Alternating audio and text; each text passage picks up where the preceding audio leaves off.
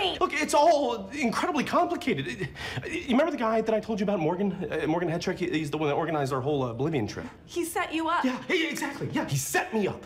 Okay, I, baby, look, I. They caught me with a plane load of cocaine. All right, they were never gonna just let me walk away. All right, I have to give them Morgan, otherwise they will send me to prison for a very, very long time. Okay, and, and I know that must be very upsetting to you to think about, but but but it is the situation that we are in. We. Yeah, we.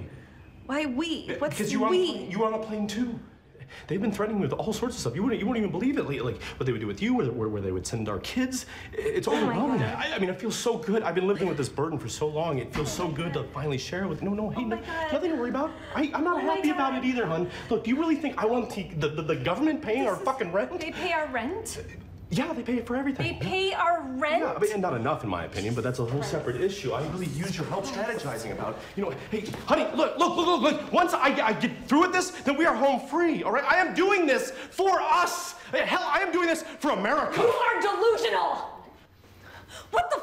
We have children! What if this, this, this. What, who, Morgan? Morgan, what if he finds out? He won't. He, won't. he's not gonna. Look, I've actually found something that I'm kind of good at. Fuck you! No, Okay, stop. Ellen, stop, okay? Where, where are you going? I'm gonna go and get the kids and take them to my mom. No, please don't. Okay, what do you want me to do? I'll do anything. What do you want? What do I want you to do?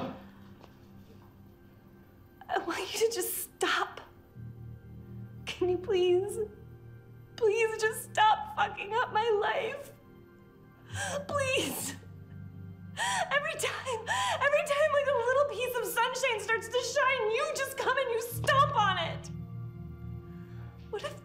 plague comes and kills us.